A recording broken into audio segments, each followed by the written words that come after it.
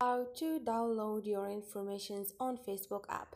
Hi guys in this video i will show you how to download your informations on facebook app easy and quick. So first thing go to your facebook click on those three lines click on the setting icon beside the search icon and scroll down. You will find access your informations click on it. In here scroll down again you're gonna find download information click on it.